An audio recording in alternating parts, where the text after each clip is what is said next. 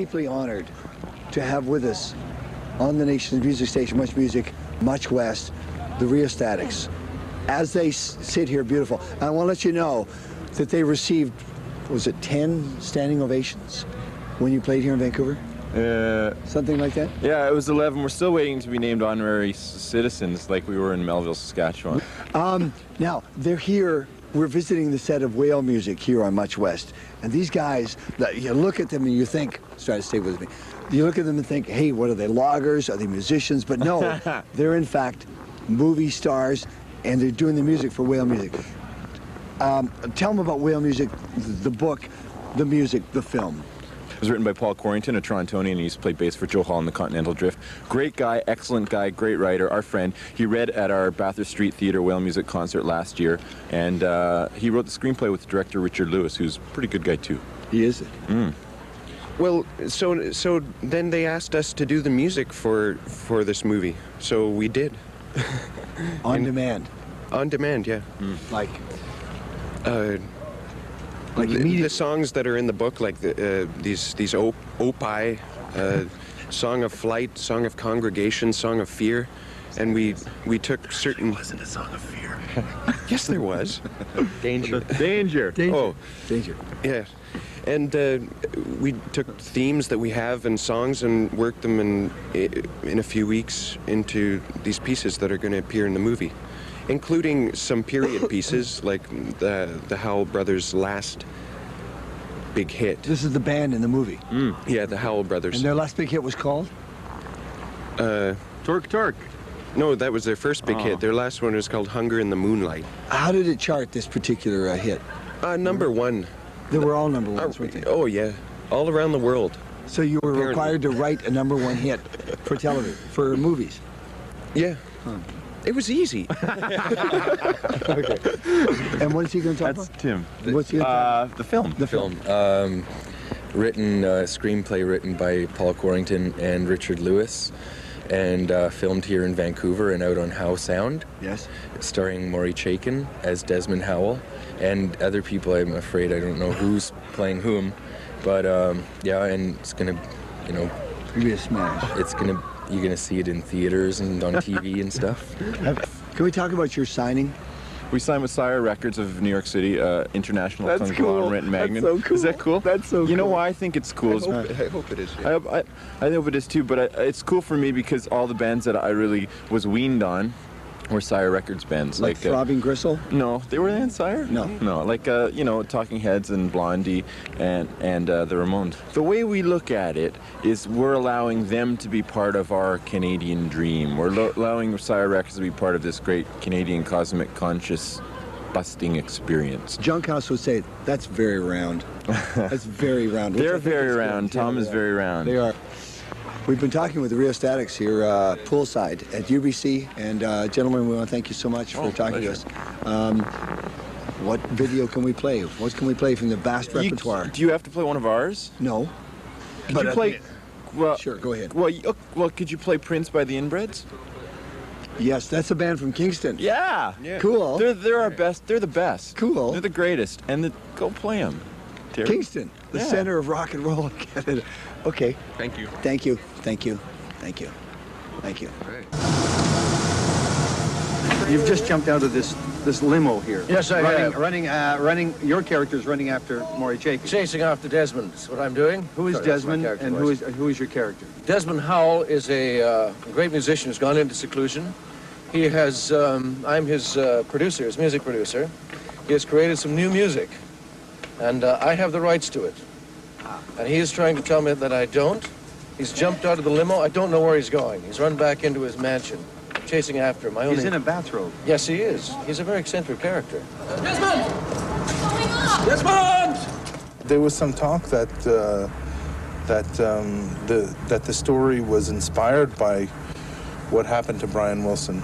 Um, I'm not an expert on Brian Wilson, nor did I actually do any research on him, but um, I think the character of Desmond Howl, uh, the situation was the same, and maybe some of the pain and, and the agony that, that the character went through was the same, but the personality of the character itself is very much Paul Quarrington's. I think it's probably more like Paul Quarrington than like uh, Brian Wilson. 99, take five. I've been in places, okay, where people work like dogs just to get through the day.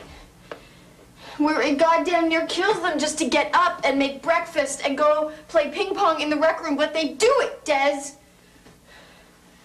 They do it because the name of the game is making it through until dinner.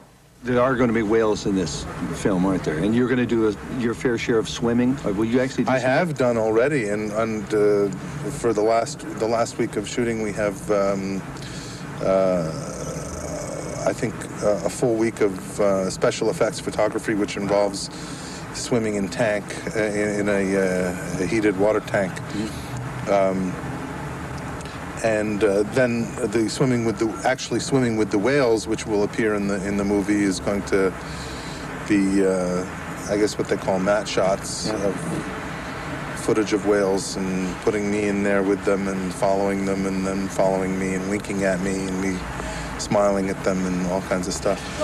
You got something? Is it wide open you got there on the, on the lens? And it's, uh, the iris is wide open. What we're attempting to do tonight is uh, some matte shots, optical mattes, where we place uh, the actor Maury Chaykin uh, within stock footage uh, of the whales. And uh, here you can see the uh, kind of a shitty, excuse me, a terrible image of uh, the uh, of the whales here. But um, it's good enough for us to see that the area in which we want to put Maury. Okay. Who's the audience for it? Who will? Because the Rheostatics are doing the music, as I understand. That's right. So we have maybe a cross-generational thing going on. We do, but I, it it can't cross too young because of a lot of the language in the film, and there's a certain amount of nudity as well, which will, you know, we've got some some work to do on the film for a television version of it, but um, it's definitely uh, skewed slightly older, and uh, you know, but it's just definitely got a hip angle to it with the rheostatics and those kind of things. Uh, it's not uh, it's not traditional or conservative fare, that's for sure. When I hear this music, Desmond, I hear magnificence, munificence, majesty. I do not hear money. Paul Quarrington- I don't think Paul Quarrington's been translated, which is, but I know it's one of his great, the greatest, one of his greatest goals is to be translated into French, uh, or Italian or Portuguese.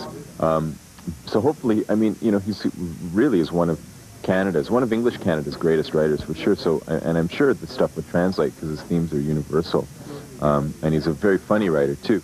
Uh, what's your name? Claire. Claire was my mother's name. We recorded an album called Whale Music uh, after the book by Paul Quarrington. And then we found out uh, a year later that it was being going to be developed into a film.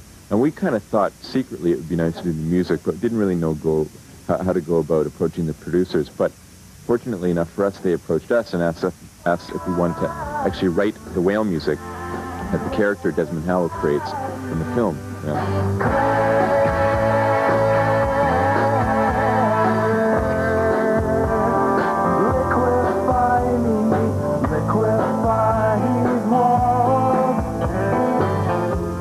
A, an aging rock star. He used to be a big famous rock star in the late 60s, and his brother was in a crash, and he, it's him sort of coming to terms with dealing with his brother's crash.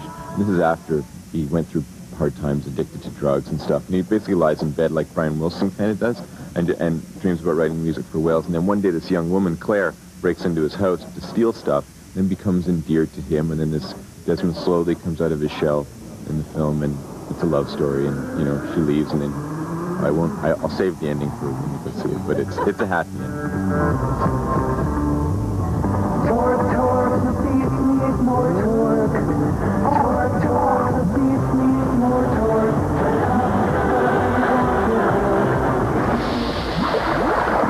Have you seen the, the movie? And what is it like? Uh, awesome uh, soundtrack.